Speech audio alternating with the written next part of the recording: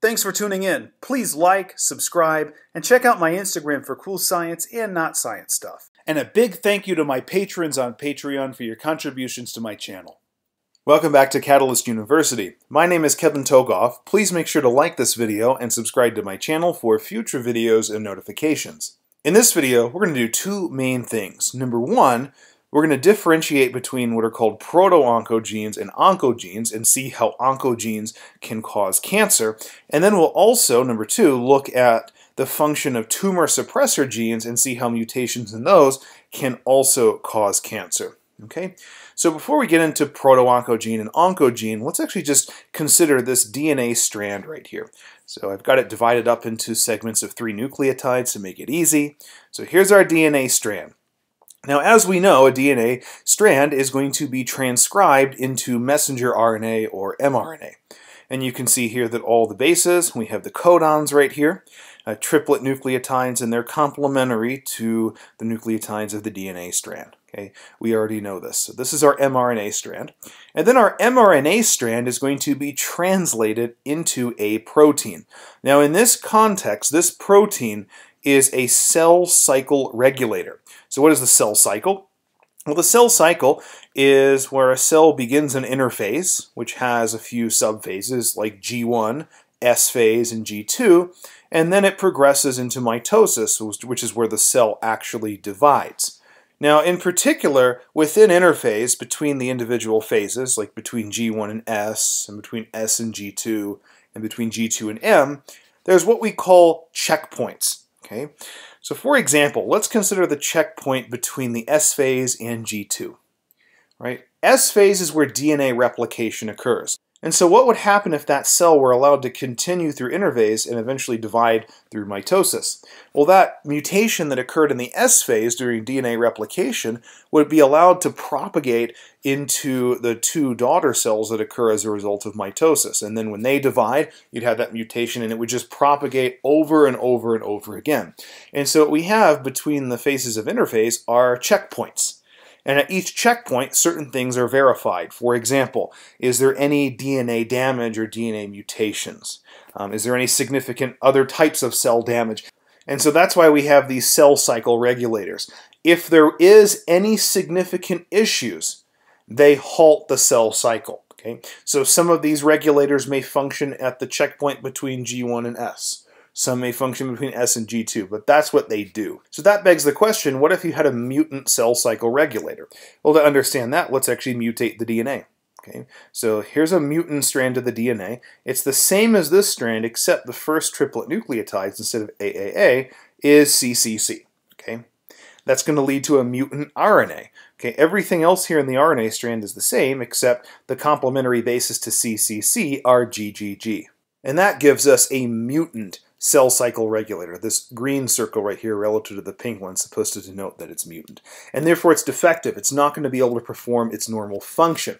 So if we have a cell here in interphase, and let's say it accumulates a mutation, most likely during the S phase where we have DNA replication, uh, then that mutation will be propagated into future progeny cells. So all the daughter cells and their daughter cells and their daughter cells after it. The other thing that these cell cycle regulators do is just in general slow the rate through the cell cycle and slow the rate of cell division.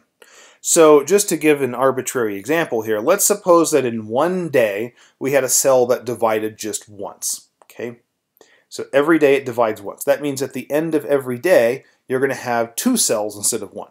Okay? But if we have these regulators that are defective, the rate of progression through the cell cycle and therefore cell division is going to be way faster because these things are not there to slow it down.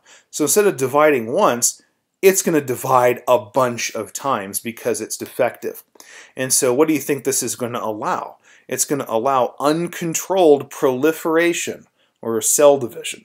Okay, and you're going to have tons and tons of cells and assuming they start accumulating other properties that we'll talk about in the next video, you get cancer.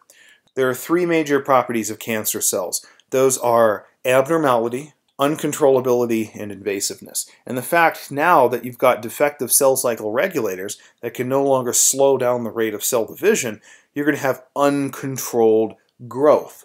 and that's a precursor to cancer, assuming that we have those other properties there of invasiveness and abnormality. Okay, so now here's the question: What's the difference between a proto-oncogene and an oncogene?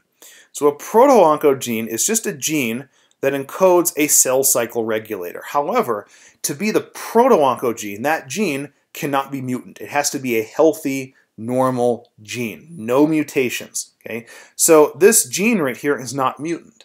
Therefore, the mRNA is not mutant, and then the resulting protein is fully functional. It's able to function to uh, control the progression through the cell cycle and then cell division.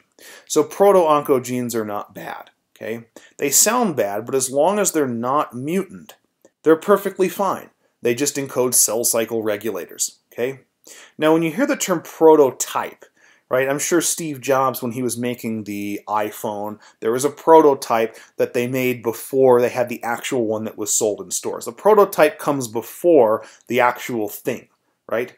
So the prototype becomes the actual product, right? In this case, the proto-oncogene can become an oncogene. Now, an oncogene is cancerous because clearly what you see here, the oncogene is the mutant form of the proto-oncogene.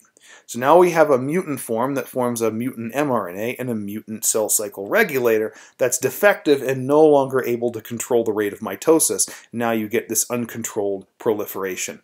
Okay, so the big thing here is that a proto-oncogene is a normal healthy gene that encodes a cell cycle regulator, but the oncogene is just the mutated form of the proto-oncogene and it encodes a defective mutant cell cycle regulator. Okay, proto-oncogene fine.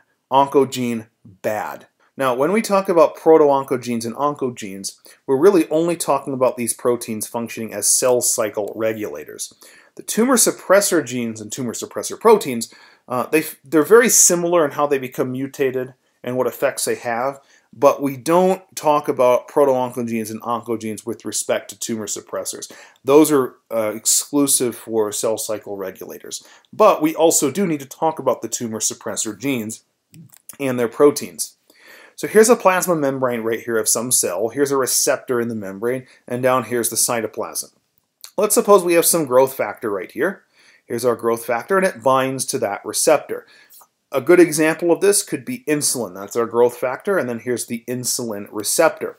Now, when insulin binds to its receptor, it triggers an intracellular cascade, normally of proteins assembling near the plasma membrane and then resulting phosphorylation uh, cascade, right? Now, insulin is a growth factor. And what do we know about cancer? Well, not only do we have uh, uncontrolled proliferation, but we also have uncontrolled growth okay, where the cells become too big, and also becoming bigger aids in their cell division, so there's proliferation. So uncontrolled growth is bad, okay? And so in a normal, healthy cell, we like to control these processes so they don't get out of control, right? And so that's done through tumor suppressor proteins, which are encoded by tumor suppressor genes. Okay, so these are our proteins, and they can really just block any one of these processes. So when insulin binds to this receptor, you get the activation of this protein, which then in turn activates this protein, which then in turn activates this protein, and you get growth, proliferation, and differentiation, all three of which are out of whack in cancer. And so to prevent these things from getting uncontrolled, you have these tumor suppressors. So this one, for example, blocks the activation of this protein by the insulin receptor. Okay, and therefore it slows everything else down. And by blocking any of these steps, you slow down these three processes. But what happens if there's a mutation in the tumor suppressor gene? Well, very much like we saw with the cell cycle regulators, if there's a mutation in the tumor suppressor gene, then the mRNA is mutant, and then these tumor suppressor proteins are mutant. And then they're dysfunctional, and they're no longer able to block these steps right here. And so if they're no longer able to block them, then these things just get out of whack. And now you have uncontrolled cell growth, cell proliferation, and cell differentiation. That has to do with the uncontrollability of cancer. Okay, we'll talk more about abnormality and invasiveness as we go throughout this playlist. But hopefully this video gave you a good understanding of how cancer can be induced by mutations in both uh, proto-oncogenes, which remember encode the cell cycle regulators, and tumor suppressor genes. Please make sure to like this video and subscribe to my channel for future videos and notifications. Thank you.